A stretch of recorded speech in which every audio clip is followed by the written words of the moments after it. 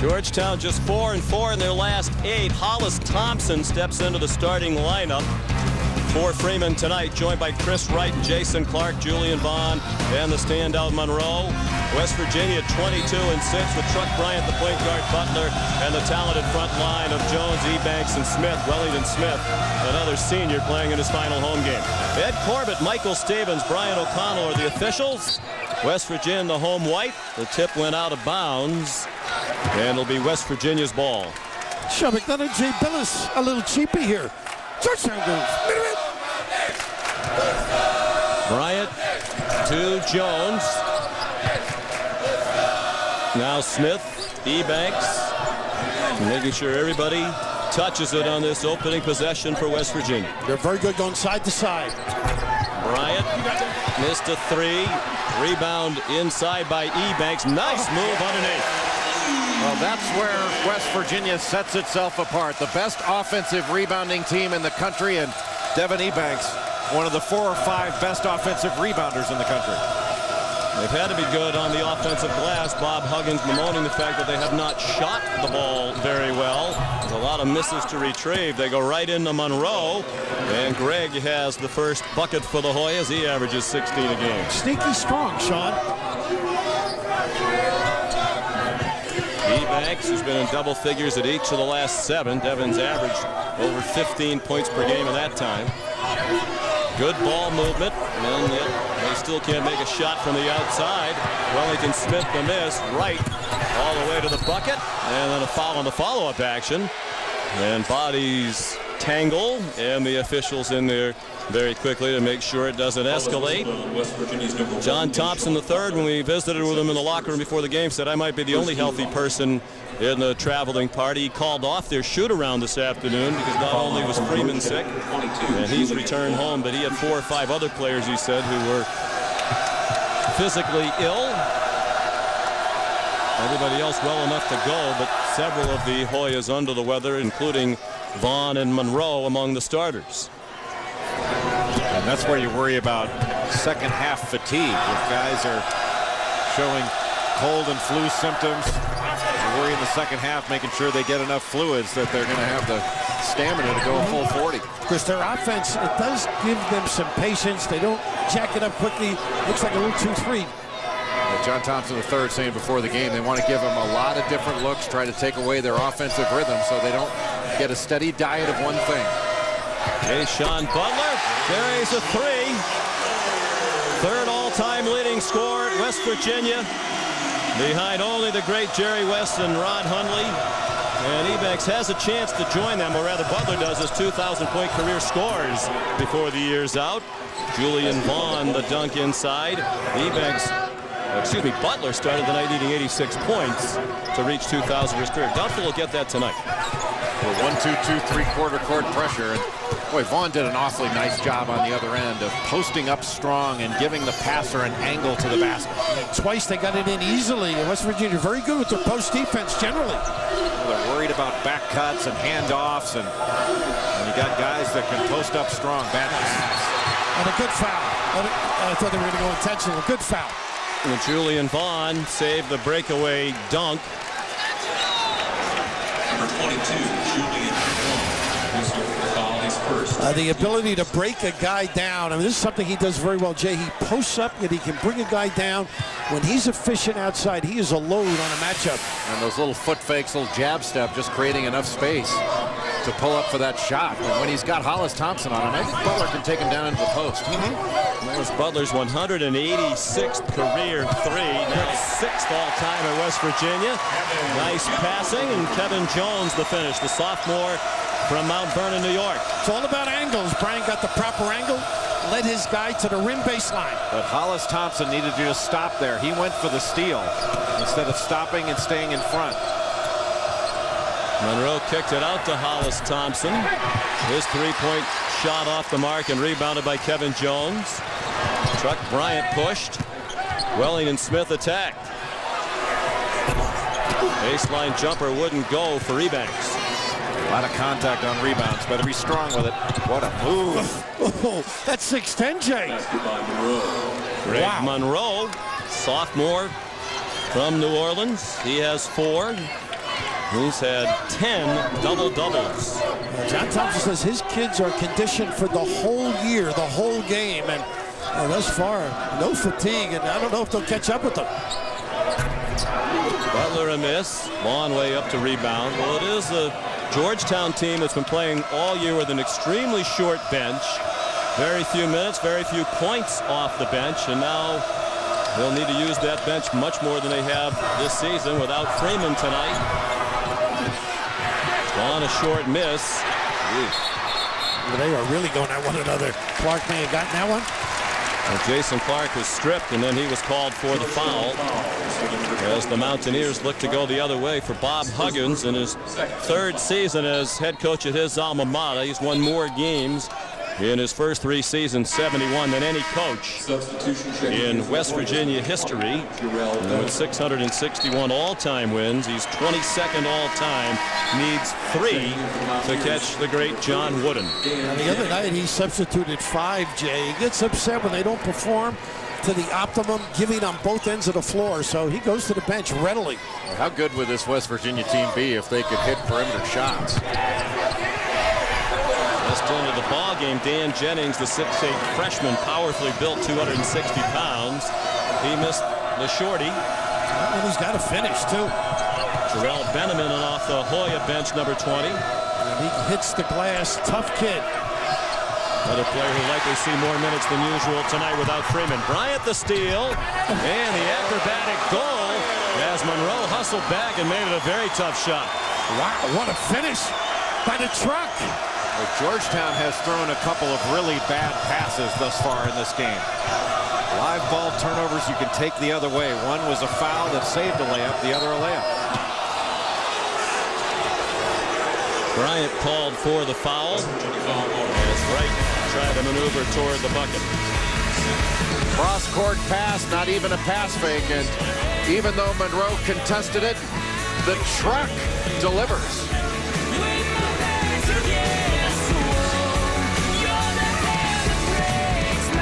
Monday of the season. Georgetown and West Virginia. It's the Mountaineers by two as we go inside the play. Uh, Jay and Sean, the reason for ride the bike or else, if you don't get two people rebounding opposite the side of the shot, you just see here, they load up. If you don't get there, you ride the bike. And if I had the choice tonight of going back to Pittsburgh with you or ride the bike, I'd be cycling. Tough on the offensive glass. Yeah, they keep an exercise bike at, at practice, and every time there's a mistake, Huggins sends them over. They got to ride the bike for a certain amount of time. Pitino does that at Louisville. He's got a treadmill. He puts them on. Thank you for serving in my accustomed role as Bill's interpreter tonight.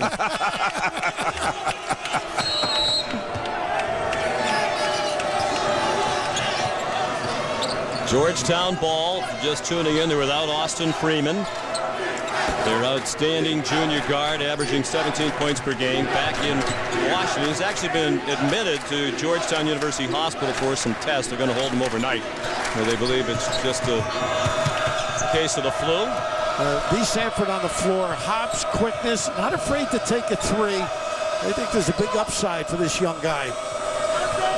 Georgetown played a lot of the game Saturday without Freeman. He played only 23 minutes, scored five points. And Notre Dame posted a double-digit victory, a huge win for the Irish in Washington on Saturday. Notre Dame resurging without Luke Harangody. They've won two in a row over ranked teams. Stuck in here for an easy deuce. Bad defense, a little sleep at the switch. Well, nice screen by Da'Sean Butler. That made the play. That's a set play that they run.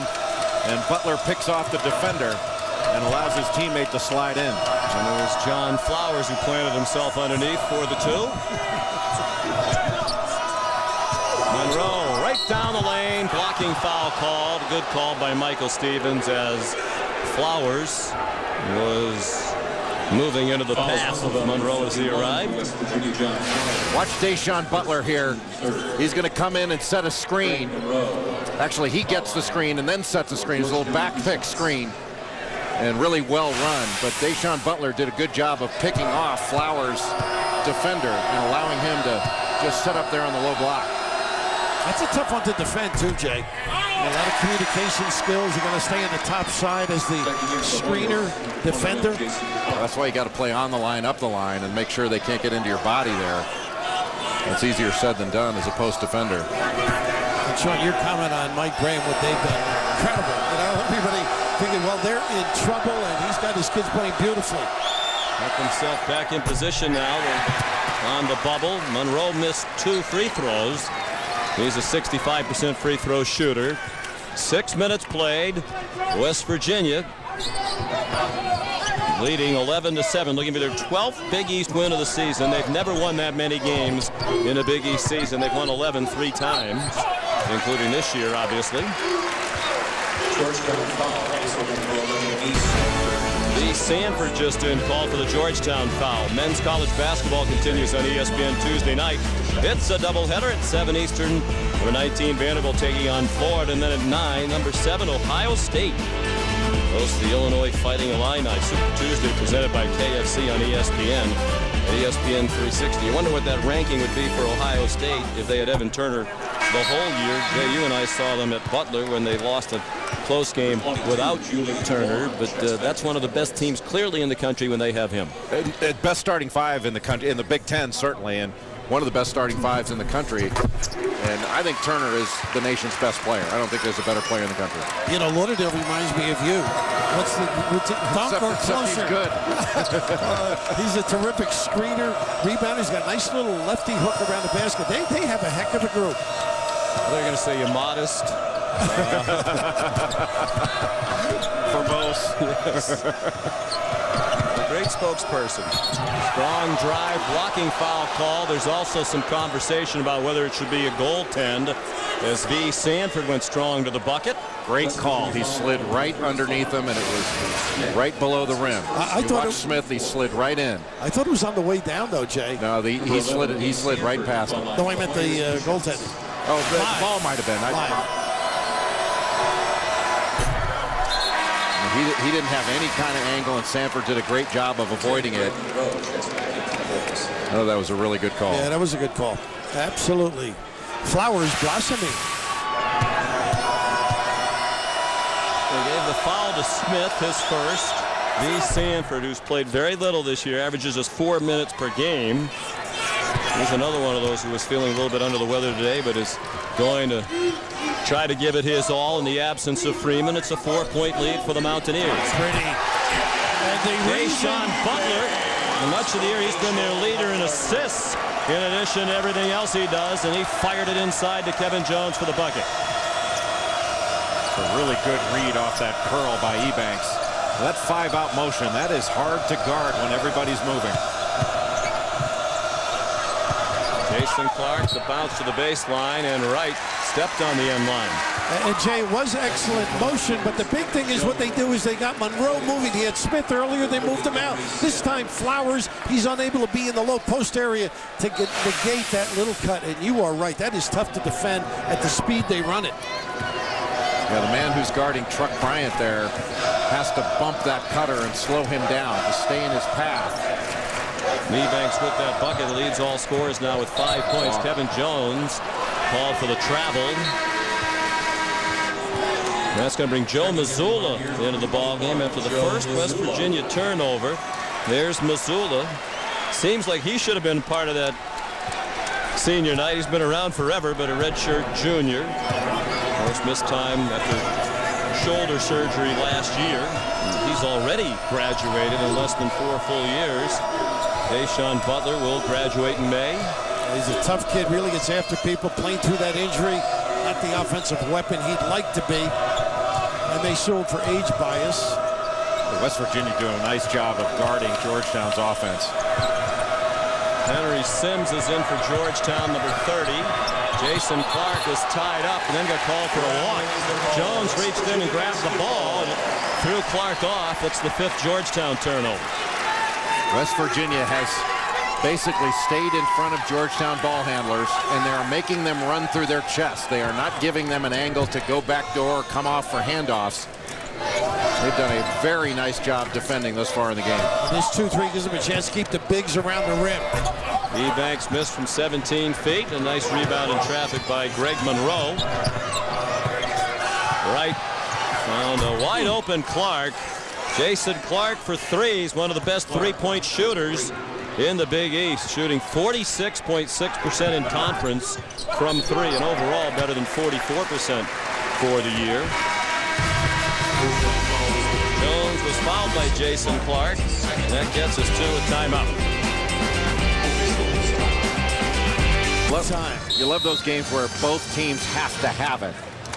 And Sean, you mentioned Torrey Jackson. I mean, all eyes will be on Luke Harangody, the great career he's had at Notre Dame. But Torrey Jackson has had an outstanding career as well. He deserves a lot of credit for the success that program's had over the last four years. They'll be without Harangody almost certainly in that game. The news today out of South Bend is it seems like Harangody is not close to being able to play, could be out for the rest of the season. Mike Brey said when he first got hurt with that bone bruise in his knee, it was day to day, but now it's more like week to week. Off the West Virginia miss, Chris Wright the push, Jason Clark into an open three, and a good rebound by Kevin Jones. And Chris Wright really makes some nice decisions. That's the second time he found Clark. Wellington Smith, a very good three-point shooter for a big man. He rattled that one home. Well, you have to be so alert in transition defense. In the good old days, you could just run back and protect the basket, but now you've got to guard that three-point line and build out from the basket, and you have to do it quickly. Smith's a 42% three-point shooter. He just got called for a foul on the perimeter, his second. Henry Sims just coming down the floor and setting right up in the middle of the lane, protecting the rim, instead of getting down there and building back out all the blue shirts in the three second lane. It is amazing how the game has changed. The trail guy can burn you. You mentioned Harangody's injury. I think that's the hardest thing that the committee has to do, and that is factor in an injury like that where, where the guy may be out for the NCAA tournament. I mean, how do you process that for Purdue and for potentially Notre Dame? That's really difficult. What a shame for both of them. Two outstanding performers. Tough shot here under duress. Wright missed it. Mazzulla ripped it down. Notre Dame lost its first two without Harangody. They've won two in a row since. And Butler. Wow, with a little kiss out of Newark, New Jersey, I might add. He had really been struggling coming into this game over his last six. He was shooting only 32%. His last two, he was just 5 of 22. And during those last six games, too, 18% from three-point range. Julian Vaughn called for the travel. The sixth Hoya turnover. Dennis Kalicla is in. Freshman from Istanbul, Turkey. And a timeout's been called by the Hoyas. Nine and a half to go first half. An eight-point lead for Hugs and the Mountaineers. Tough task for Georgetown tonight. The Hoyas have lost three of their last four. Trying to stop that skid at West Virginia, one of the toughest places in the country to play, and doing it without Austin Freeman, their leading scorer. He made the trip over here yesterday, but then went back home today with an illness, and he's been hospitalized as they run some tests, flu-like symptoms. Terrific all-around player, an outstanding shooter. Those are terrific numbers, particularly for a guy who spends most of his time on the perimeter, 54% overall. And his numbers in Big East play are better. Now, usually it's the other way around because you're playing a better quality of opponent in the Big East than you do in your non-conference schedule. But he was averaging about 20 points per game, shooting 57% from the field in Big East play. It's remarkable numbers. Nice decision by Kalicla, leaving it out, kicking it out. You get a good look.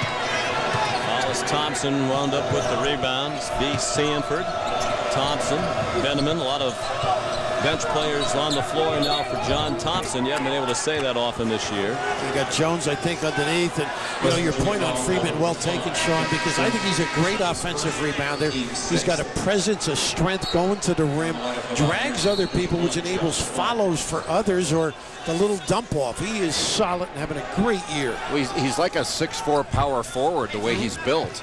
So he's a difficult matchup for a guard. He can bully a guard. And you put a bigger guy on him, he takes him outside. Thompson out of the corner. Knocks down a three for Georgetown. First bucket for the freshman Thompson, averaging four and a half points per game. But he made his first career start Saturday against Notre Dame. Didn't find out till minutes before the game he was going to go because John Thompson didn't know about 15 minutes before the game that Freeman wasn't feeling well. And Hollis Thompson had a nice performance, 12 points against the Irish in that home loss Saturday. Out of bounds, it'll stick with West Virginia. The, He's a zone very good three-point shooter. Excuse me. The zone has been very good for Georgetown thus far. It's going to limit the amount of fouls. And this is not a great shooting team that West Virginia has. And if Georgetown stays active in their coverage, this can be a really good defense for them in this game. And your point about fatigue, too, this will rest them somewhat, although you have to stay active. Bryant fouled by Sanford.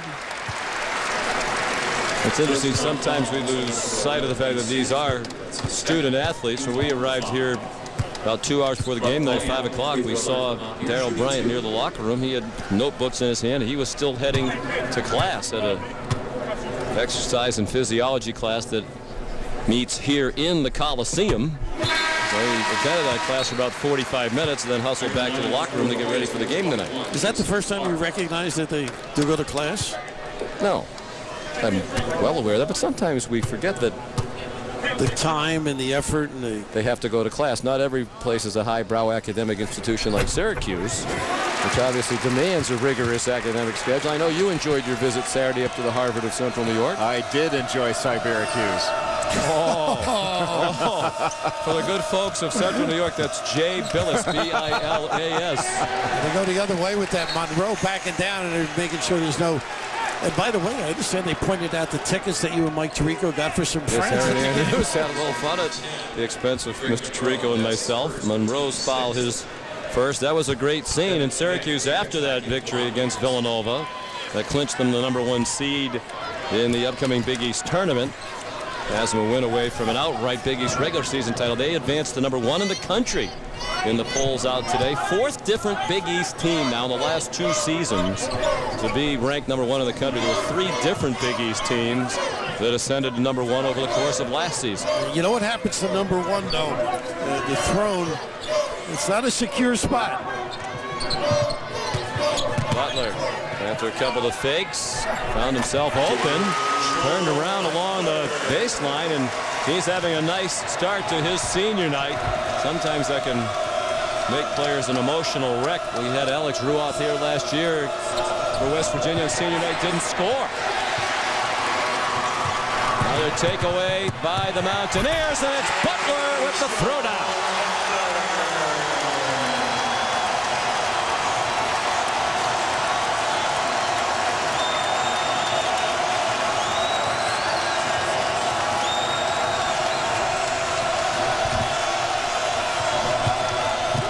Right.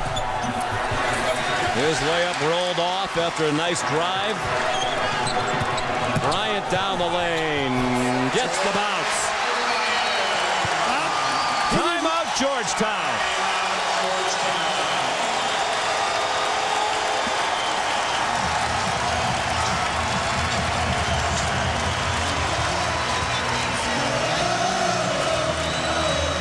For those who are wondering, by the way, the three Big East teams that spent time ranked number one last year were Connecticut, Pittsburgh, and Louisville.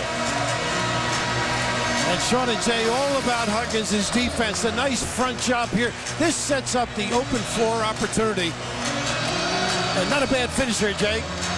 Just too many live ball turnovers for Georgetown. They have been very shaky with the ball. Nice little head and shoulder fake. The inside out move by Truck Bryant gets all the way to the rim with nobody stepping in.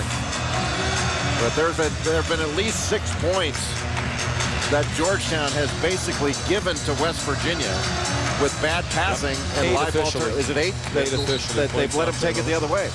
And uh, Truck probably put the books down in time, left class a little bit early, and fortunately for the Mountaineers, able to penetrate and do some damage. And he's playing with that hurt thumb, and I think that impacts on his shooting the last week or so. He said when we visited with him, his thumb is feeling better. He was also poked in the eye about a week and a half ago, and that situation's better too. Nice play, Wright, set up by Monroe. That ends an 8-0 West Virginia run. First bucket for Wright. He averages 14 points per game, and they'll probably need more than his average tonight without Freeman. John Thompson, the third, said we're putting Hollis Thompson in the starting lineup, but it'll take everybody to pick up the slack created by the loss of Freeman tonight. Butler trying to make it a memorable final home game. He has 12 after that three ball.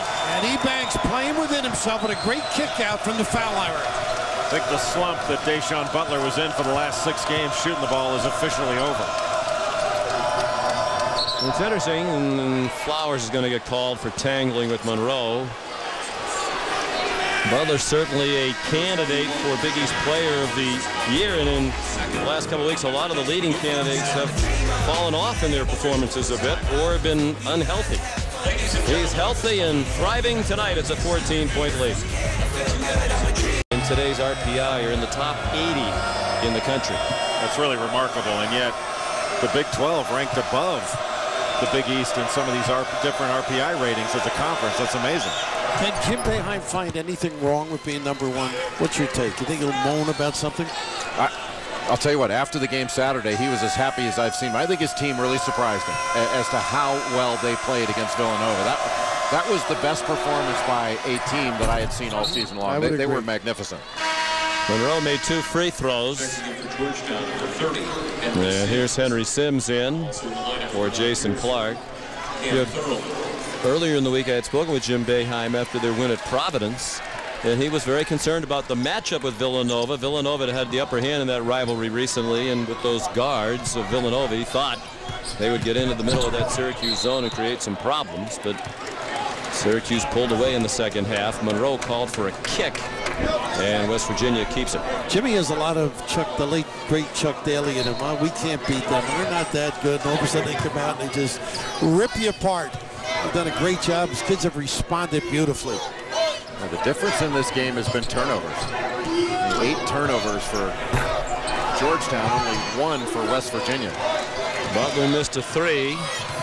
West Virginia for a lot of the year, a gang that couldn't shoot straight, but they're at 52% here in the first half and leading Georgetown by 12. Thurman almost had a layup there. A lot's got to go through this guy. Not a good entry there. Benimon, that's not his talent, but Monroe needs touches low. Well, Benimon threw it away. Super Tuesday continues on ESPN on Tuesday night, fittingly. It's a doubleheader at 7 Eastern, Vanderbilt and Florida, and then at 9, Ohio State and the Fighting Illini. The Illini could use a big win. Super Tuesday presented by KFC, ESPN and ESPN 360. Three out of the corner for the Sharpshooter Casey Mitchell. He tends to be very hot or ice cold, and that's a good sign for West Virginia. As He's in with a quick three and then a timeout called by Georgetown. They're burning through the timeouts here in the first half. Uh, they just got mixed up on a defensive assignment, never got out in the covers. They had gone to man, didn't communicate it very well, and a deep little nylon delivery by the JC All-American. Well, we're just over a week away from the start of the Big East Championship at Madison Square Garden. It begins a week from tomorrow. Here's what the matchups would look like if the season ended today. The bottom eight teams would have to play on Tuesday. That's teams 9 through 16. Only two seeds have been solidified right now. Syracuse is definitely going to be the number one seed. They'll get a double bye. And DePaul is going to be the last seed, number 16. But between now and when we get to New York, there'll be a lot of movement, particularly in the middle of that pack. And been a lot of debate. This will be the second year of this format for the Big East. Do you like the double bye? The top four teams all get the first two days off. Teams five through eight get one day off and the coaches are debating whether or not they really like that format. You know what? I was one of those that thought that if we're going to have a tournament, everybody should be invited. But with a 16-team mega conference, I'm not sure I was right. I, I think I may have what? been wrong there. Yeah, Wait a minute. Roll, roll, tape. Roll tape. I think I was wrong. And uh, I think a lot of coaches have made the point that you know, they're saying, hey, everybody deserves a chance. Well, everybody does have a chance. They have 18 games in the regular season. Well, we're blessed. We're going to work every night. We're hoping you take one night off, Sean. Do both of us a favor. Nice spin. And Monroe got his own rebound and scored. Basket by Monroe. That's where they have to go. Mm-hmm. They, they've got to set Monroe up, but nobody can guard him down in that low post. Get him down into the post and play through him. He's so efficient, great knowledge, and a good teammate. Truck Bryant. And of course, prior to last year, only the top 12 teams in the Big East standings made it to the conference tournament. The bottom four did not go. The top four got a bye, but it was only one bye. Of course, last year that double bye wasn't necessarily a huge advantage. Two of the four teams that had the double bye lost their first game. Pittsburgh and UConn. Ebanks the takeaway. Sims a hard hit. Oh my goodness, he almost got the finger roll to spin in. The open floor. Another live ball turnover. Poor passing by Georgetown has led to a lot of runouts.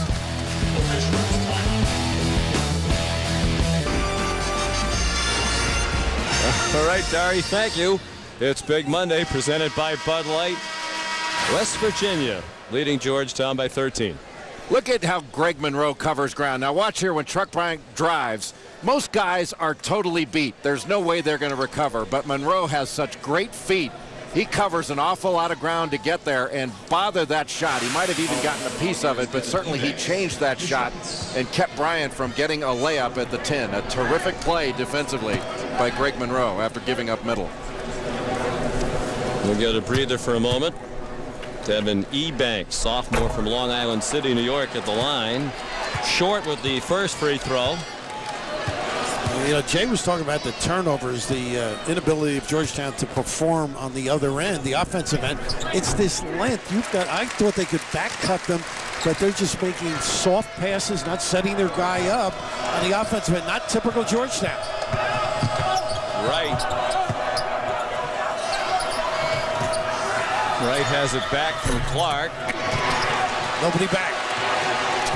Mitchell ahead of the field. Casey Mitchell, junior from Savannah, Georgia. First year here at West Virginia as a junior college transfer.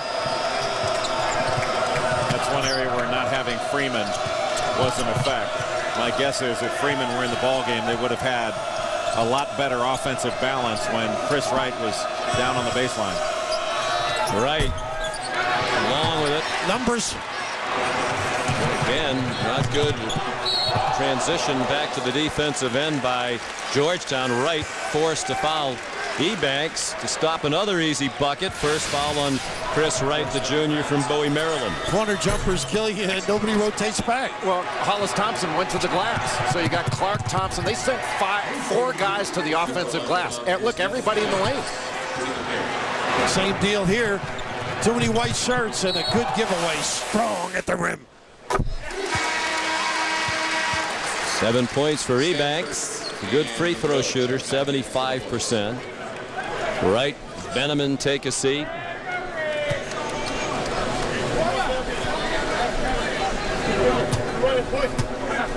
Georgetown, one of those teams that just can't afford to lose one of its starters. The only team in the country that has gotten fewer points from its bench than Georgetown this year is South Florida.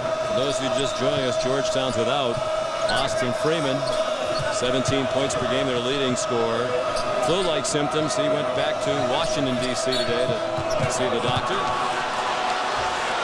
Bob Huggins didn't like the West Virginia sophomore. hand check called on Butler, way away from the basket. That's the second on Da'Sean Butler playing his final game here. And Bob Huggins says Butler is as complete a player as he has coached, and he's coached some terrific players. Number two, Cam You Thurl. mentioned earlier all the things he can do. You mentioned Monroe being a great teammate. Greg Monroe. Kids on this team really respect his attitude, aptitude for the game. Well, when coaches really want to give a player a compliment, they'll say, you know what, he just knows how to play. And that's Da'Sean Butler. He knows how to play. Nine points now for Monroe. Another young man who knows how to play. Big East Rookie of the Year last season. The only underclassman named to the All Big East team this preseason. Jones rebounded his miss. 17-point game under two and a half to go. And Another three. We mentioned when he's hot, he's very hot. Casey Mitchell is hot tonight. And nobody at the rim. He shot that with confidence. Catch and stroke. Steps. The run out.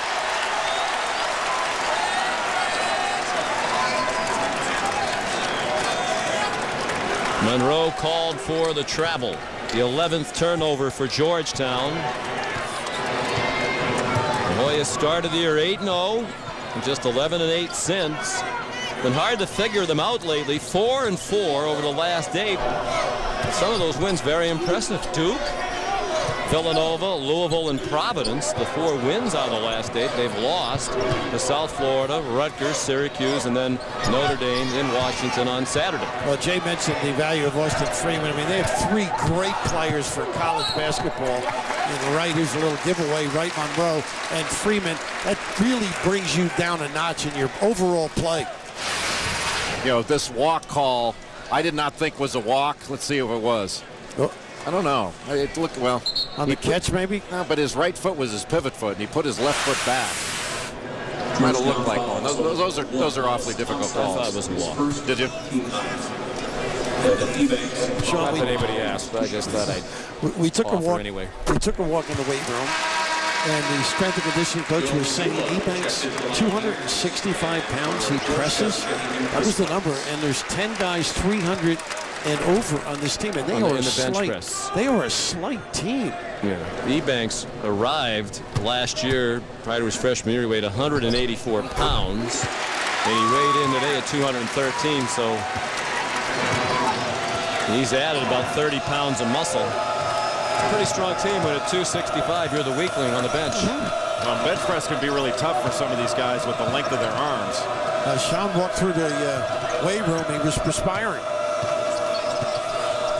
We have a new, weight room a new practice facility that'll be opening in the coming years. Julian Vaughn, nice move inside. Five for the transfer from Florida State. But the Hoyas are down by 20 and without their leading scorer, Austin Freeman tonight. Nice defense. That pass by Greg Monroe on the other end was absolutely brilliant. Passed it away from the defense. Monroe was stopped by Thoroughman and another travel call. Yeah, that looked more like a walk than the other one. He changed pivot feet there. We also got bellied out, but great defense at the other end. And that, this is the look you love, Jake. Just a spectacular pass. He threw it away from the defense, leading Julian Vaughn right into his move. Terrific. Monroe has turned it over three times.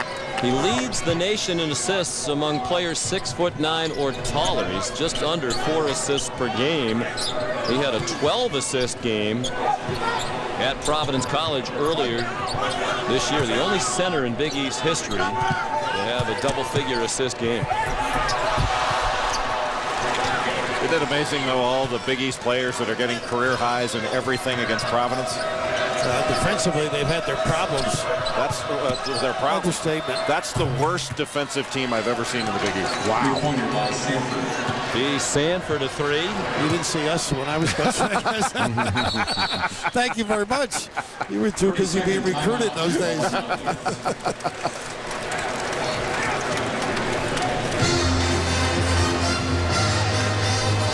Timeout, West Virginia, trying to talk about these final 12 and a half seconds. The West Virginia team that with a win tonight would secure a double bye. Big East tournament starts on Tuesday, next Tuesday in New York. They wouldn't have to play until Thursday.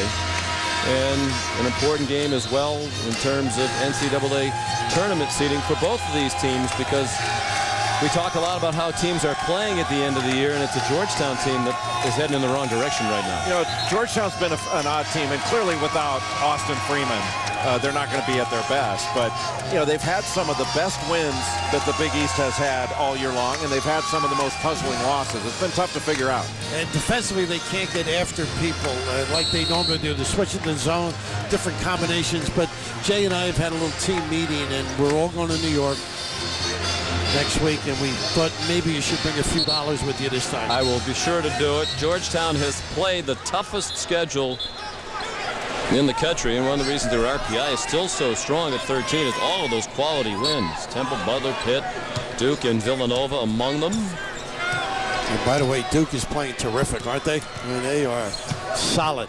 Joe Lunardi has them a number one seed right now. Understandably so. Sanford got to half court and then lost it, and it's halftime. Well, no senior night emotion. That was a negative for Da'Sean Butler. His 100th career double-figure game. That's the West Virginia record.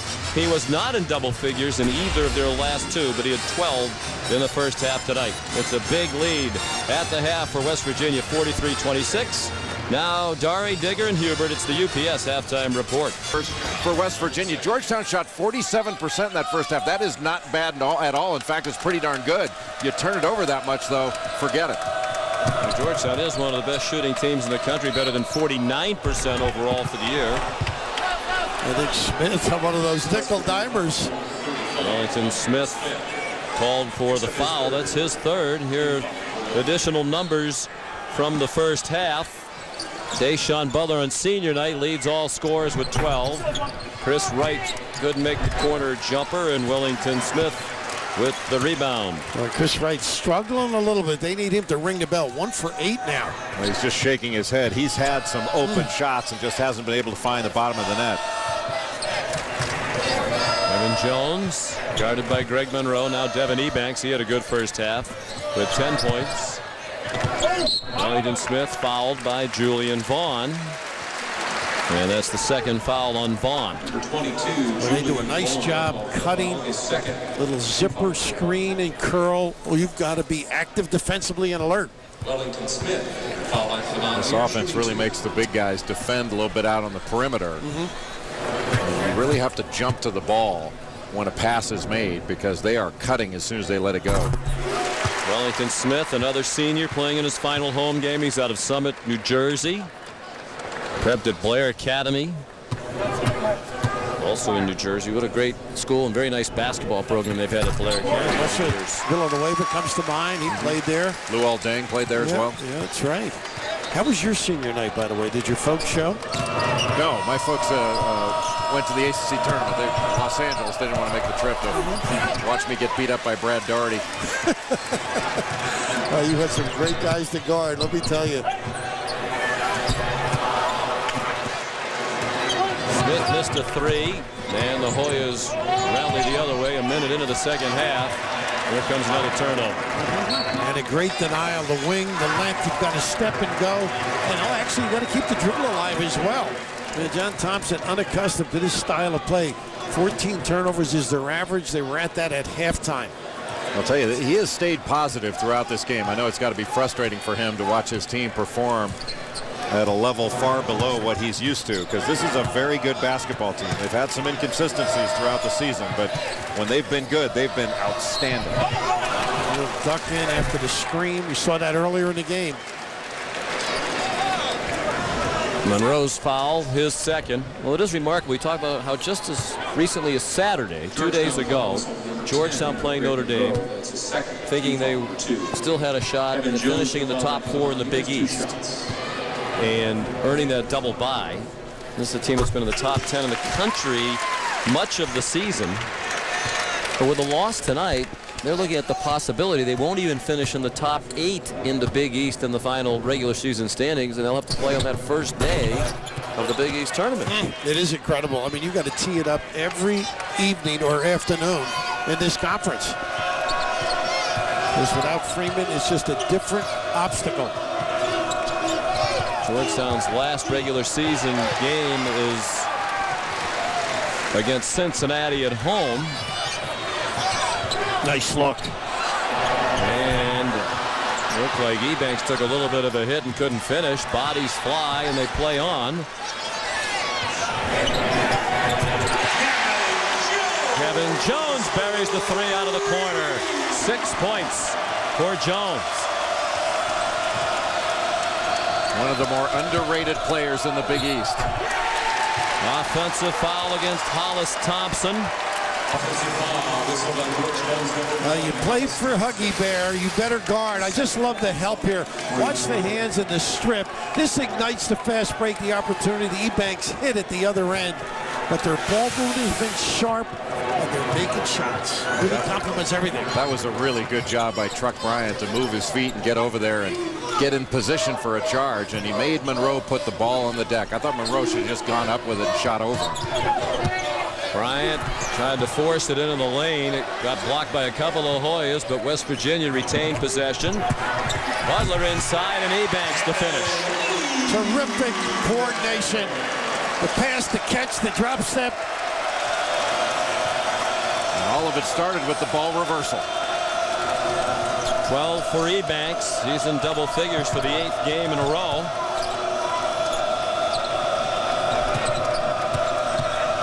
Monroe handed it off to Hollis Thompson, who double dribbled. 16 Georgetown turnovers.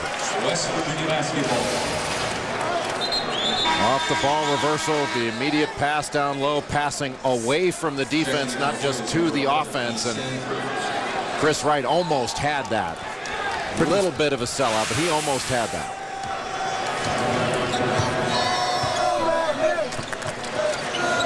Only game left for West Virginia after tonight is next weekend at Villanova. That could be a very meaningful game, particularly for Villanova.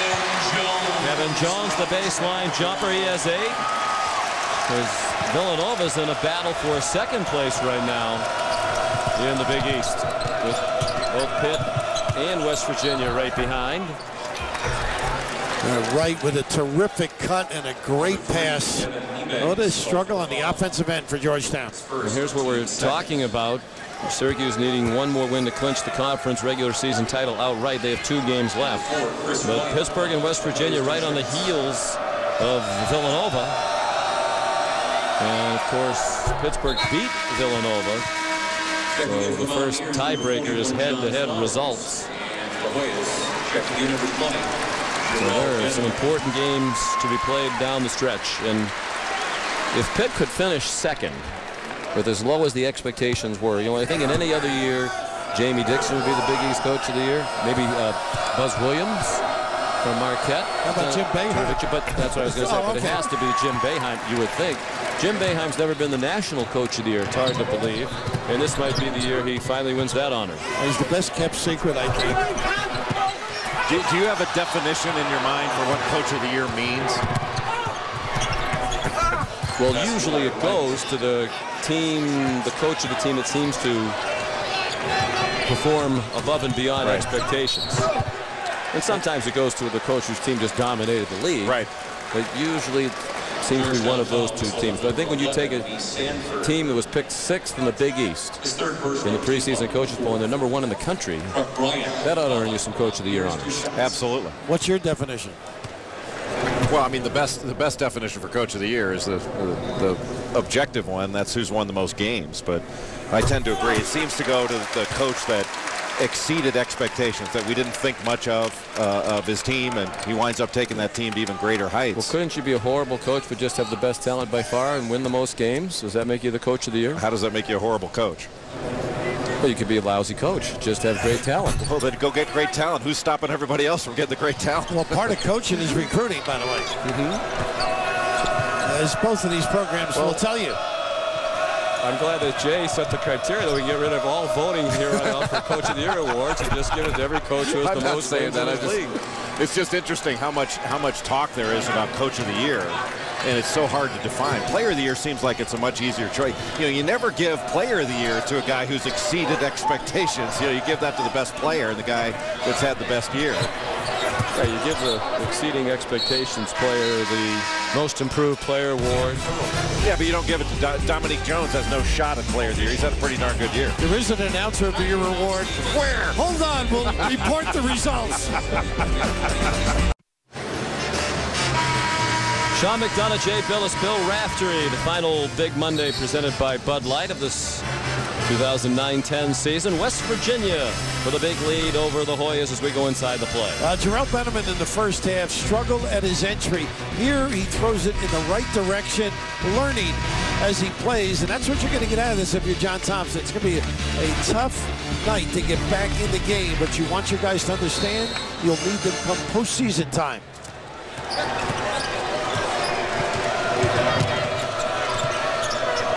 15 and a half to go. West Virginia with a win would guarantee itself a top four finish in the Big East final regular season standings and get the double bye at next week's Big East tournament. Cam Thoroughman called for thorough foul. He knocked Benimon down. Cam's a very physical player, really does a lot of little things defensively, screens, reverses the ball, not going to make a whole lot of mistakes.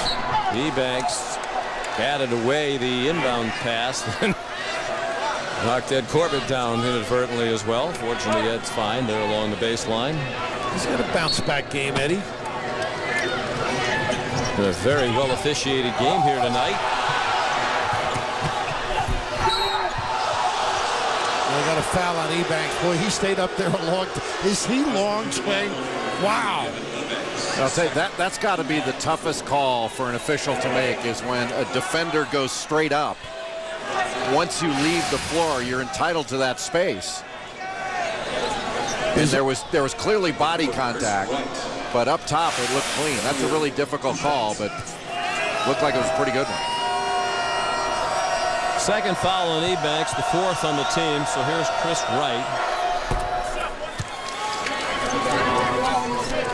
With his sixth point of the night. He's had some big games this year, had his Big East career high. 27 points at Pittsburgh at 34 and a win over Harvard. Most by any Georgetown player in John Thompson the third six seasons as head coach. He's really had a good year. He's a powerful guard. I like his game. He's a very unselfish kid who can score. And he competes. Look at him in the low box area now. That's tough to defend if the guy can ride you as Butler did baseline. That's a tough matchup. Yeah, you can't get into a shoving match down low with Da'Sean Butler, whether it's Hollis Thompson or Chris Wright gets switched off onto him. You've got to break contact, get around in front, and make him throw it over the top and hope your weak side help is there. Second foul on Wright. Ebanks almost traveled as he passed it off. Truck Bryant missed a three and Monroe the board. 15 minutes to go. Georgetown down by 21, playing without their leading scorer. Austin Freeman is back in D.C. with the flu. V. Sanford, freshman out of Lexington, Kentucky, with his second three of the season. He has seven points. And that's their slapback play. You can't go under against him. Well, that's hard to guard because yeah. when you dribble at somebody, you expect them to go back door. If you play the back door, then they come off for a handoff.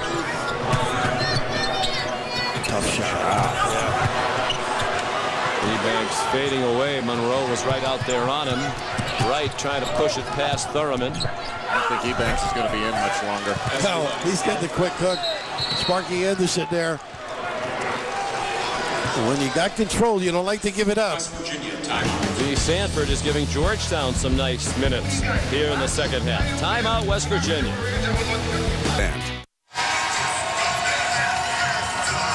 Back in Morgantown, West Virginia, time for tonight's game track brought to you by Papa John's.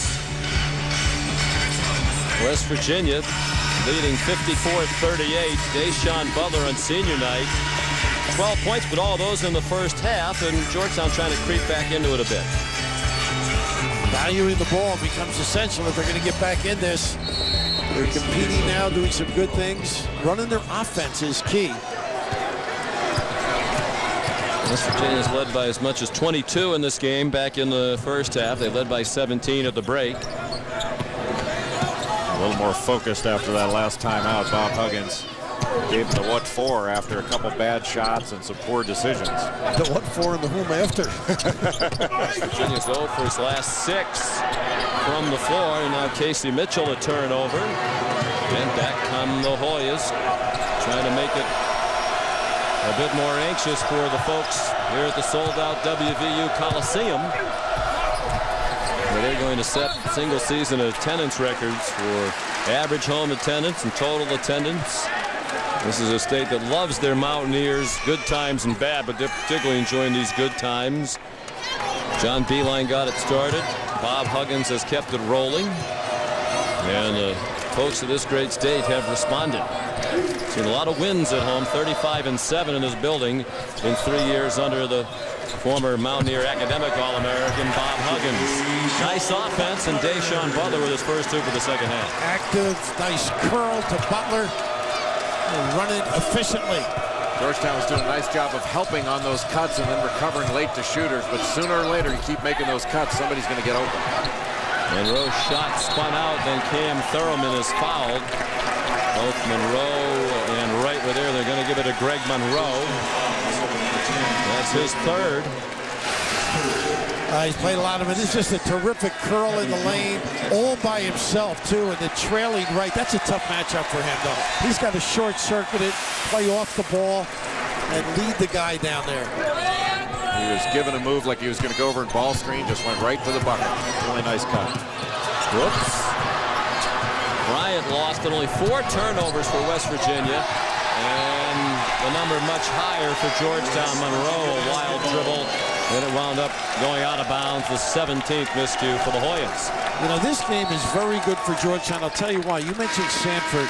Benham and another guy, they're getting good minutes under the gun. As they get into the Big East tournament and future NCAA, they're going to need these guys to be seasoned, have a good understanding of what it's going to take.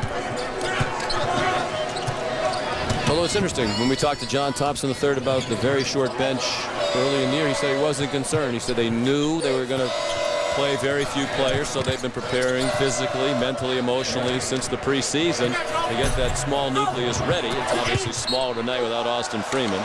Flowers the last to touch, but he felt like he could have a team that was competitive at the national level with this very short bench, and for the most of the season, they have been. We showed you all the big wins they had. Uh, they, they, they can be devastating. There's those three big-time players and the add-ons.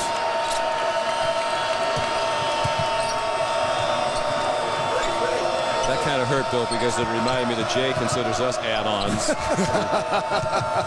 phrase that he uses to refer to us. Most people would say teammates, partners. Those guys I work guys, with. Yes. Three wouldn't go for Jason Clark, and here's Joe Mazzulla out of Johnston, Rhode Island. He won't take it. He's lost a little bit of confidence in that shot since the shoulder injury. He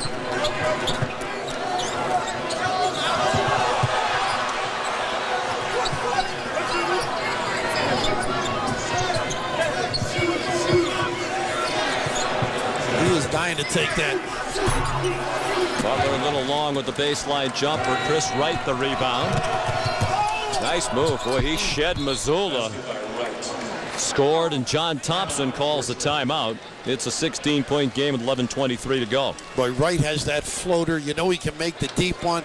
He's strong as well. We'll see more Big East action as part of a men's college basketball doubleheader Wednesday night on ESPN at 7 Eastern Time. It's Notre Dame and Connecticut. Crucial matchup for both teams on the bubble. The Irish with senior night.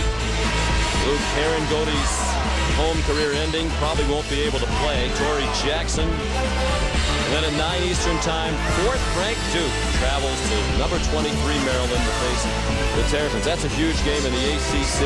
and times change. Last year, so many people on Gary Williams' case in the Baltimore, Washington area. And now there's another candidate for conference and national coach of the year honors. Both of them. I mean, that game is a lot on the line. Uh, first place in the ACC, uh, a share of the title for Maryland if they can win it. And also, like you're saying, coach of the year, who do you give it to? You know, In the ACC? yeah, Krzyzewski or, or I know who you're voting for. You have no choice. he can't bench me anymore. Uh, I think that's a very tough call. It might come down to whichever team wins that game. That's a fair point. Vasquez playing very well. Very thrown out compliments of late with his outstanding play. I'll tell Rightfully you- so. I'll tell you what, I think Vasquez should have his number retired at Maryland. He has put up the numbers for it. I'm not sure there's been a more important player. Watch it. You can see that one coming. How about that? Well, you jumped out of the way fast. After my hematoma last year. V. Sanford's your new favorite player. He Plant your- controlled himself. Plant your feet and take a charge. Oh, never. Last charge he took was at Bloomingdale's. Throw it to a break from underneath the table. Monday continues. Sean? Where the Texas team was number one in the country not long ago. They've slid almost out of the entire top 25, number 25 in the rankings that are out today. Joe Mazzulla doing a lot of work to get to that layup. How about that use of the right going to his right? Everybody overloaded. They're running a double stagger on the other side. Great read. A nice response after the timeout where Bob Huggins was wearing out Mazzulla over his defense in transition. Bob Huggins really does love Mazzulla, says he'd be a great coach. Mazzulla's dad played professionally overseas. There's a three for Chris Wright. What the story Huggins closed by Mazzulla. They're back in Providence. He's playing in front of his friends and relatives. It's Joe's from just outside Providence. Threw a wild pass. He came to the bench for a timeout. Huggins was screaming at Joe Mazzulla, and Joe's dad, a couple of rows behind the bench, yelled, I'd be yelling at him too. I'd be choking him. He's a feisty guy. I just love the kid. He really gives him everything. Kevin Jones with 10 points. 24th double-figure game of the season for Jones. This is their 29th of the year. He's certainly a candidate for most improved player in the Big East this year. He averaged six points a game last year. He's more than double that this season. Jay, have you seen as many lazy passes by George? Even that one just in front of us. Yeah, I've not seen as many. A lot of guys are picking their dribble up. Yeah. But not having Austin Freeman on the floor and that threat that he is it's been very difficult to overcome for Georgetown. And several of these guys are sick who are playing tonight. You wonder if that's made them lethargic.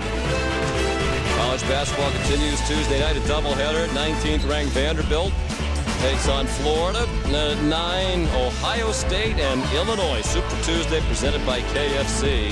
Boy, Vanderbilt's had a nice year. We saw them early in the year in Maui. We thought they were good. Wasn't mm-hmm. sure they were number 19 good, but they've earned that ranking with their play. Well, they have some talented kids, too. The big guy, Ogilvy, Jeffery Taylor. By the way, Sean, your comment about the health, John Thompson was concerned how they all felt. He thought some of the kids had a little bug. I just love his composure as they come out, slaps them. He knows this isn't his team that he normally gets to view each and every game. So just hanging tough with them. Well, they're fighting, and this is a team full of great kids, especially that one there, Greg Monroe, who has had a, a spectacular year and has played about as hard as you can imagine in this game. He's done a great job on the glass, but hadn't had a lot of help on the perimeter. Well, earlier in the year, heard a lot of speculation about whether Monroe might come out after this year. Seems to be a guy who could benefit from more time in college. I think he likes being a college student, too, what you hear.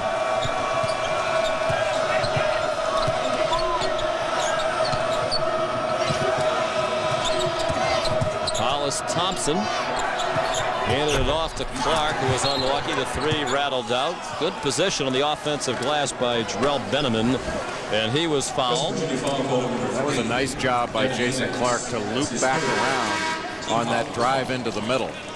He just presented himself as a receiver, was able to step into that shot, and it just about went in.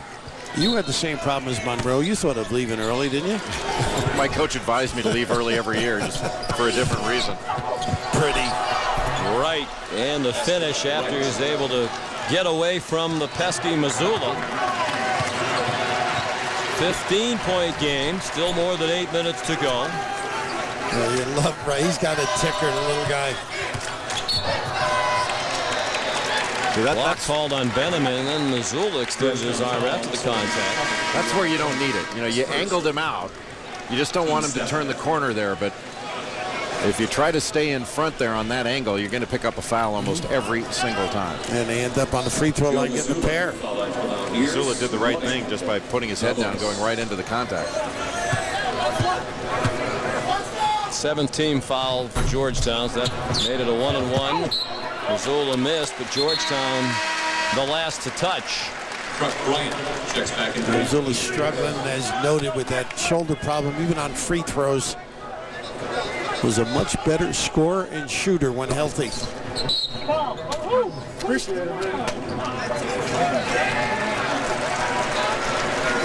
Georgetown's done a much better job defensively in this half. Jerrelle Benimon. His second. Benimon called for second foul. Just so hard to get anything going when you're turning the ball over. It's really been the issue for Georgetown. It's been all the turnovers. You're always in a hole. You're fighting upstream. 18 turnovers tonight for the Hoyas. They had 12 of them at the half. I think if you charted it, Georgetown's defense, when it has been set and they've played five on five, has been pretty good overall. Mm -hmm. There may be a couple of exceptions here or there. But where they've really gotten into trouble is giving up so many easy baskets by tossing the ball away. 100th career double figure game for Butler. He failed to reach double figures last Monday at Connecticut, nor did he reach double figures in their home win Saturday here against Cincinnati when they rallied from 13 down to beat the Bearcats. And with three minutes played tonight, and there's a three by Wright. Da'Sean Butler's played more minutes than any player in a West Virginia uniform. Over 4,100 minutes, he broke Joe Herber's record. Do you remember we were here a couple of weeks ago? His legs were bothered. He was tired. And that sometimes impacts on kids. You don't have those fresh legs to shoot it. Georgetown get a couple more stops here and some scores. This could get, get a little interesting. That hurts. Don't give them second chances. You make a nice stop, tough shot. Stranger things have happened in the Big East this year. Both of these two teams have been involved in games that had dramatic turnarounds. Remember when Georgetown trailed Connecticut by 19 oh, what this year, came back to win. West Virginia's had several double-digit rallies to win. Butler missed a shorty, and now Georgetown poised to make a game of it with seven minutes to go.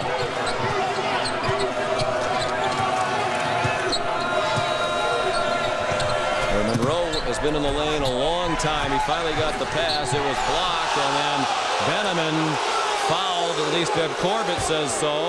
Wellington Smith called for the foul. The Mountaineer partisans didn't like it. It's the fourth foul on Smith, and it's a timeout. Oklahoma, guys. All right, Terry, thanks. Here, West Virginia, which once had a 22-point lead, now leads by 14. 6.51 to go. And Georgetown have a chance to get closer still as Jerrelle Benimon heads to the line. He's played more than his average number of minutes. Same true for V. Sanford tonight. They're playing without Austin Freeman. Leading scorer who's ill and back in D.C. tonight. Flu-like symptoms. Benjamin missed the first. You know, Benimon played well against Villanova. Good rebounder. Early in the year when we were down there at uh, Midnight Madness, John was talking about he attacks, he's active on the glass. I think Jay, Jay Wright was amazed how tough he was around the rim. He's not one of those kids you saw a lot of in high school. And he didn't play the AAU circuit, so he's a little bit of a mystery when he came into college. Didn't have your skills camp opportunity, huh? Which is a huge benefit to him. Ebanks had it blocked away, and the Hoyas were out of bounds as the ball came out of Ebanks' hands. Dennis Kalichla is going to come back in. He's played very little, played under a minute in the first half. Now, this isn't his type of game, having to guard all these back cuts and the intricacies of the Princeton offense. If he's in, you got to give him those touches at the box, you know. Get Monroe and some more. He's got three.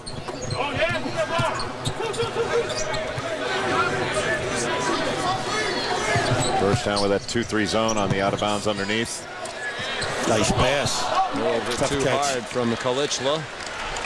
And through the hands of Kevin Jones. And you wonder if West Virginia's gone to sleep a little bit here. It looked like it was going to be a cruise to victory on senior night here at the WVU Coliseum. And now Bob Huggins concerned. The lead's down to 13. There's still plenty of time left. Well, they're only 6 of 22 in the second half after shooting 52% in the first half. And you know, Georgetown on a similar tack as they were in the first half. They've just been doing a better job defensively. Very quick hook for Kalichli. Just came into the game, threw it away, and he got the hook. Well, I think it was Jay's point, though. He, defensive stop, all that maneuvering, uh, very tough for him. It's a ball game now. Monroe scored from in tight, make an 11-point game. It really has been the year of the big comeback and the squandered lead here in the Big East. Bryant, boy, he got bumped. No call. Wright took it away. Clark lays it in. I'll tell you, I like the play though, Sean. I thought he got that left shoulder in, and there was some contact. Just a great read defensively as he stepped up beautifully. And now a little game pressure on West Virginia. They've been playing with house money for a long time, but now they've got some pressure on them to get things done. And Butler just stepped on the end line. Another West Virginia turnover. Tell you what, this kid is a tough kid. Unselfish, gives up the easy one. You turn it over out in that area, you are vulnerable to scoring. A 1-3-1 defense now by West Virginia. They're going to give a different look to Georgetown.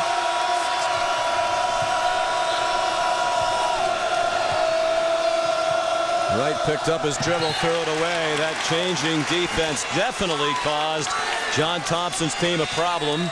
19 Hoya turnovers. That one really hurt as they clearly had momentum on their side. I don't know why you pick up your dribble there. Now, particularly with a talented guy as he is. I think he was just shocked, as uh, Sean mentioned. He picked up his dribble and then threw, you know, he threw a pass off balance. There was nobody even guarding him. You just change a little, it throws even good teams off.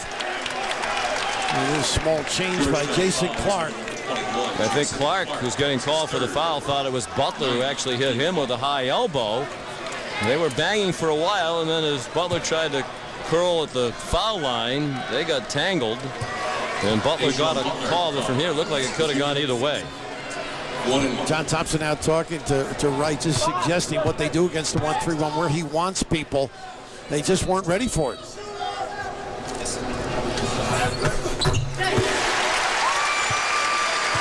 Seventeen in his final home game for Da'Sean Butler. Been a little bit of a free throw slump as well over the previous three games, just 11 for 20 from the line, 55%. We're nothing like seniors, though, Sean. Coming down the stretch. They've been there before.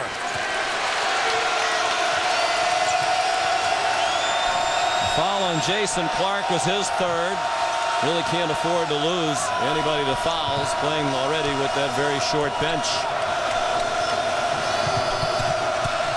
Having trouble exploring this 1-3-1 defense. Benimon lost it. They step down the baseline. You know, right in the corner might be the way to do it. Let's see if he does the other. He has the toes and heels and whatever.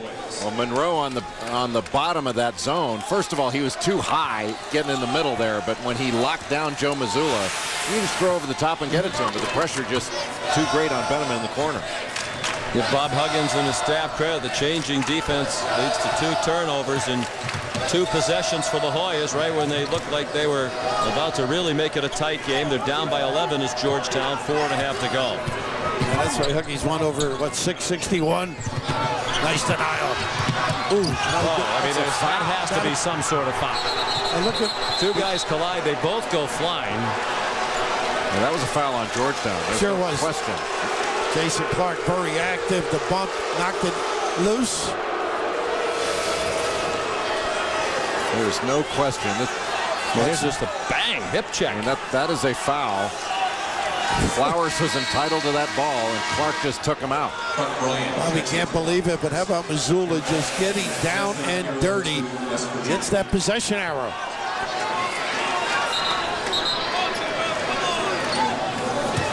Now Michael Stevens telling the Georgetown bench to be seated.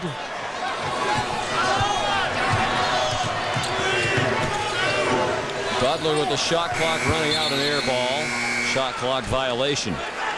Shot clock violation. the shot Butler and Huggins, he doesn't mind having a dialogue with players. A lot of guys don't, but they were gesturing to one another.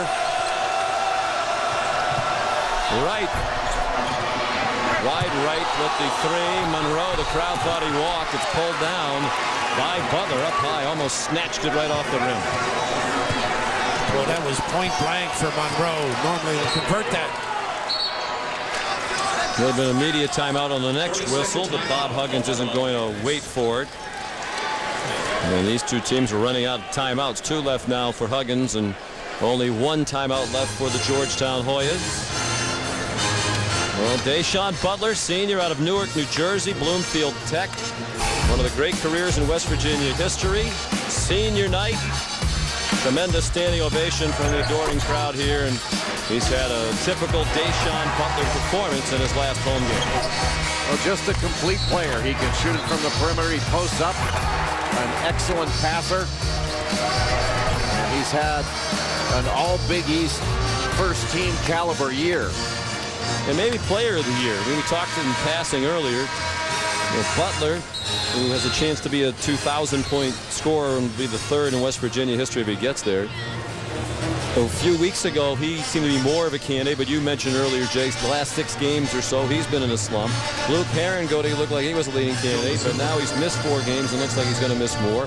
Wes Johnson's numbers have fallen off. Scottie Reynolds' team has gone south Villanova a bit here over the last couple of weeks. So everybody who you thought was in the conversation, they're still in it, but they've all fallen off a bit, it Yeah, seems. No perfect player uh, in the Big East to give it to. It. If you had to vote today, it'd be hard to turn down Scottie Reynolds. He has meant more to his team and has been so efficient all season long. Well, what a break here. He slapped back, and Butler, well, this Butler deserves the summer off. I mean, he has just been magnificent. To compliment your words on him. It looked like his pass was going to be a turnover. It got deflected right back to him. And he scored. Fans, please observe the sign-in. A chance for the third point when we come back. Guys. Wow, great nuggets there, Dari. Thank you. How about those UConn women? Amazing. You know, he mentioned it's not just that they're winning, but they just annihilate everybody they play. Well, Gino's got some talent, no question about it. He knows what to do with it. And not to be disrespectful of the, the competition they're playing, but After watching them practice early in the year, their practices are harder than the vast majority of their games. Uh, 1-3-1, the move by Huggins had been a problem. One a gamble pass by Wright. He's made two of those. This one at least. The counter. Well, that's the where to at- uh, the place to attack it is on the baseline. And it's really hard to rebound out of that 1-3-1 when you're so small in the back line. A stop away right now. You know, during that winning streak, by the way, for the women of UConn, 21 of their opponents were ranked, and they've won those games against ranked opponents by an average of 26 points per game. Nice little duck in. Same play they ran at the beginning of the game, Jay. Little flex cut. Flowers peels off. You just step into the lane off him. And Sanford just not strong enough to hold off Jones. Monroe threw it down with a Basket by Monroe. bit of anger, it seemed. He's been frustrated frequently tonight. And then Flowers fouled him. 45 shot. Flowers. And a little anger on the West Virginia sideline as well. Every time it looks like they're supposed to push Georgetown away, back come the Hoyas. Well, just upset that the guys didn't have their hands up to discourage that pass. It's one thing to let the pass through. You certainly don't want to foul, but if you don't have your hands up to discourage that pass, you know, it makes it easy for the passer to have vision. And that's what you love about Chris Wright, though. He has just done a terrific job at finding the big guy. Three fouls on Flowers, seven team fouls. Both teams are over the limit here in the second half. Back to a 10-point game with 2.45 to go. And no point guy on the floor now. I'd just get up into them now if I were Georgetown. Deny. West Virginia, a 69% free throw shooting team that gets to the point where they have to salt it away at the free throw line. Nice little jump hook by John Flowers, the junior from Waldorf, Maryland.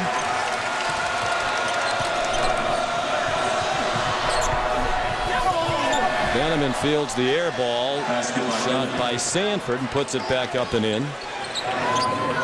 West Virginia trying to beat Georgetown for the second year in a row. They beat the Hoyas in Washington last season. Just a little brush, but enough to get a foul called on Clark. His fourth. Uh, Georgetown a little fatigued on that end, and this end it shows as well. Twice the same kind of a play. This time they get the cutter in Flowers, uh, but they just don't look like they've got the energy defensively, Georgetown. you know, just a simple little flex cut, and nobody shows. And I think you're right. Georgetown's really battled. But there's just not enough gas in the tank in this one. Some of the viewers might be wondering what that patch is, the FS on the uniform of the West Virginia players. That is in memory of the late, great Fred Schaus, great player, coach, and athletic director. here at West Virginia, who died on February 10th. Led them to a golden era of basketball back in the 1950s as coach. Later came back after time as a coach in the NBA to be the athletic director here for many years. Great guys. Nickname was Beef. Very well liked. Wright will go to the line. Blocking foul called. Wellington Smith called for the block, and he has fouled out of his final home game. Let's take a look at who has reached high tonight, presented by Lincoln.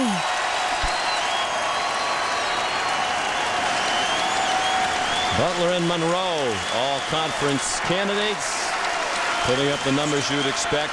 A standing ovation for Wellington Smith, senior in his final home game, 131st career game in the old gold and blue. Only Darris Nichols and Da'Sean Butler played more games for West Virginia.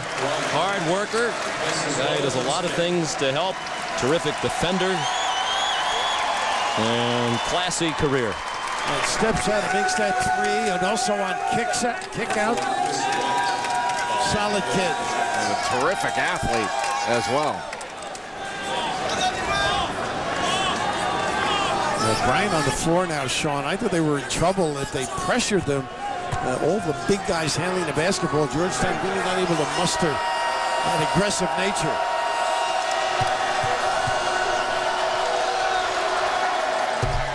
Chris Wright, and after a slow start, all of a sudden is 18 points. He hasn't shot the ball particularly well, 6 for 15. He had that tough start, one for eight, if you Yes. remember, you know, but he has stepped up. He's got a big ticker.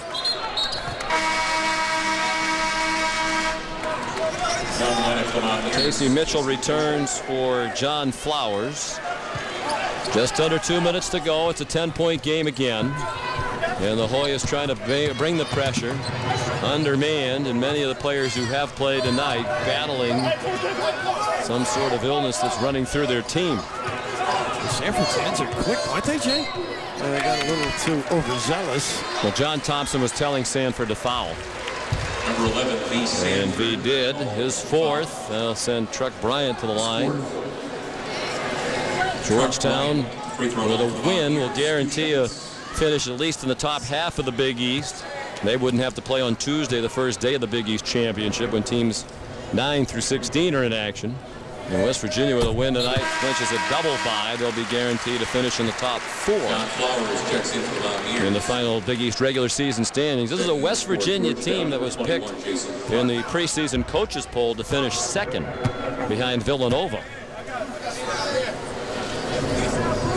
Each of the previous seven years, they finished better in the final standings than the coach's prediction for them in the preseason poll. They're a team that has continually overachieved, at least in the guesses of the coaches preseason. And With the year after year now of solid success, expectations are higher. Are you saying the coaches finally got it right? Ball's caller number one, Hollis Thompson. No, you You've attacked everybody tonight. He's saying they should have gotten coach of the year every year. Well, you know, their coaches have been given credit, both John Beilein and uh, Bob Huggins during this run for the fine jobs that they've done. Both, both did have done great jobs, and Huggins has brought defense and rebounding to a higher level here, and been successful with that formula everywhere he's been. Yeah, and Joe Mazzulla brought the 1-3-1 of John Beilein into the, the mindset Yeah. of Bob Huggins. Said, Coach, we ran this thing. It was effective tonight. They did a terrific job. It disrupted a little flow of Georgetown at a key juncture. One out of two for Ebanks. 13-point lead for West Virginia.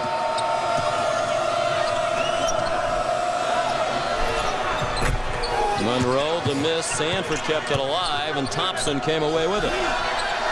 Jason Clark ran out to the three-point line, got his own rebound. Nice pass underneath to Monroe, and John Thompson will use his last timeout. Yeah, good hustling there by Clark. Very active. Georgetown still battling.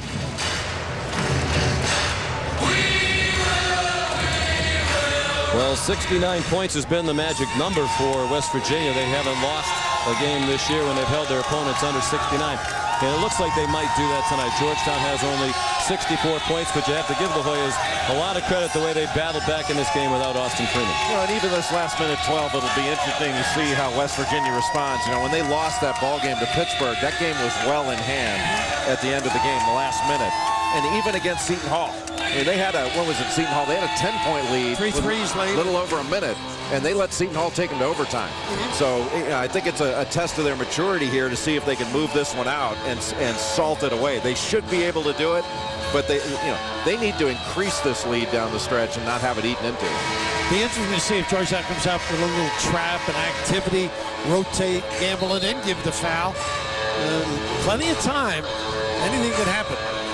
We mentioned West Virginia picked second in the preseason poll, and they're looking like they're going to finish in the top four. But you could tell when we talked to Bob Huggins before the game, those games Jay was talking about, they had the big comeback at Notre Dame. They were 22 down, got it to within one, still plenty of time left, didn't finish the job.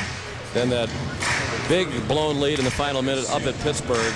It could be a team that was right on the heels of Syracuse right now if they hadn't let those two get away. Now, I think this league, everybody ha- can say that. Everybody has right? one of those, think? couple of those at least. I mean, look at Marquette. Again, they oh. couldn't win a close one. Now they can't lose a close one. Amazing. What a Boy, job they- Buzz has done. Nobody's been in more close games this year than Marquette has been. In the history of basketball, since Bill and Dr. Naismith invented it in Springfield. Foul is called on number one, Thomas You know who else we should give credit to? These fans. They got a lot of negative attention weeks ago, deservedly so, when the objects came on the court. The language wasn't particularly good. An awful lot of attention in this state paid to fan behavior. And ever since then, these folks have been terrific, positive, supportive, loud as always, but doing nothing to damage the reputation of this great school and state. Remember the president came, came over and said hello. Uh, the uh, the uh, meetings all weekend. Here he is, uh, just to straighten things out. And boy, they have behaved. They very organized uh, sort of attack at doing the right doing the right thing against the wrong thing. Jim Clements, the president here at West Virginia University, has to be very proud with the way these fans have cleaned up their act a bit. Bryant the rebound. Give it up. Give it up so they don't foul you. You want to move the ball. Unless you want to go to the line and score a couple more points. Well, you, get the game over. That's what you're thinking of. Or at least you should be. Unless you're your mindset. Get a couple on the, the box score. Get your career average up. Hollis Thompson has just fouled out. And we'll get you to Oklahoma and Texas, the Big 12 offering the final Big Monday. While we have a moment, I know both of us want to thank our terrific Big Monday crews. Tonight we have our producer Scott Matthews, our director Mike Schwab. Other Big Mondays, our producer Bo Garrett, who's home with the new addition of the Garrett family, Sean Garrett. Now there's a family with good taste.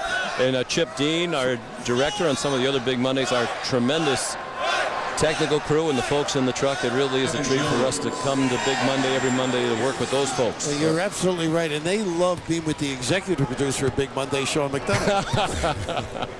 I don't like when you downgrade my title that I've given myself. How about Kevin Bo, Jones at the free throw line. You can tell who Bo Garrett's favorite announcer is. yeah. Uh, Sean Garrett. Wonder where Bill Garrett was. I'm the sure there'll be. I'm sure there'll be a big envelope from Sean McDonough. For West Virginia, will earn a double bye. They'll be the second team to clinch a double bye in next week's Big East tournament, which starts Tuesday. The entire Big East tournament, Tuesday through Saturday, on the Big East family of networks. And this turned into a little bit more of a grinder than Bob Huggins thought it was going to be. Does he know he's ahead by 15 with 47 to go?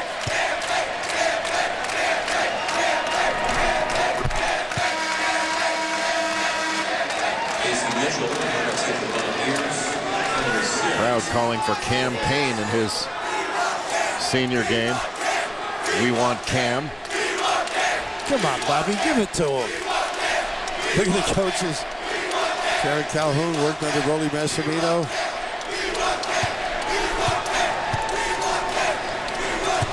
Bob wants W. Uh, Billy Hahn looking pensively there. Billy Hahn, a longtime assistant to Gary Williams at Maryland.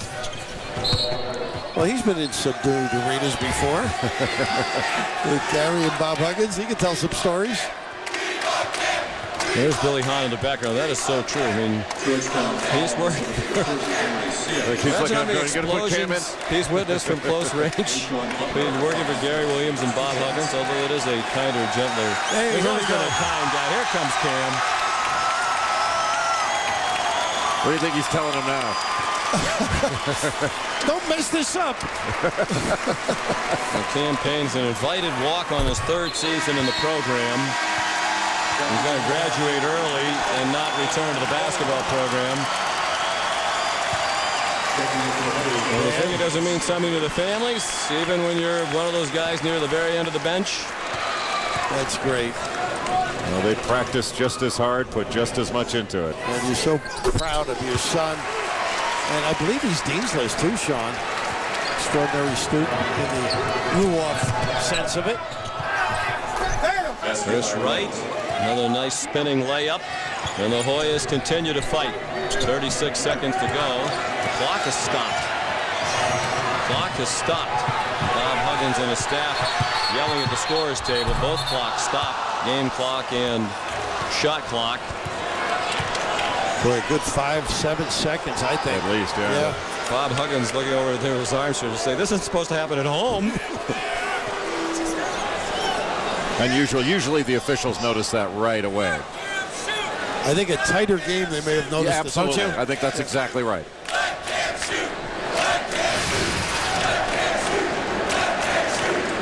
Clock stops after the made field goal.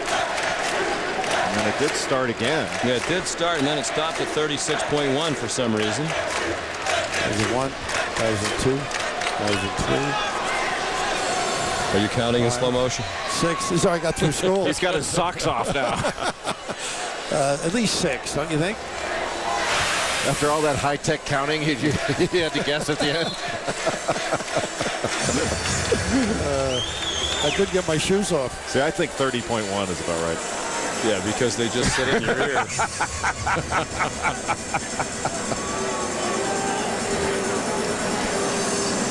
Well, we are finding new and different ways here to make sure that Big 12 game doesn't go off on time on Big Monday, another tradition of Big Monday. On year number 33, Casey Mitchell. Well, Oklahoma and Texas coming your way in moments.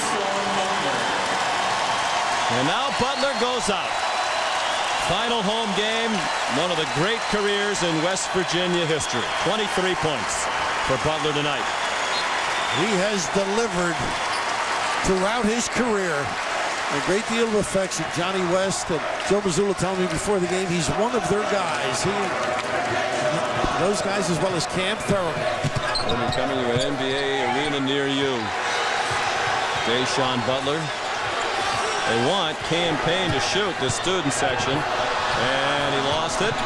Dives on the floor, but doesn't get it back.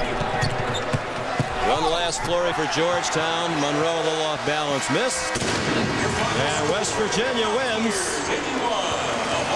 The of senior night evident from Da'Sean Butler. A double bye next week for West Virginia. They win 81-68. Oklahoma and Texas next. Now to Austin to Brenton Bond.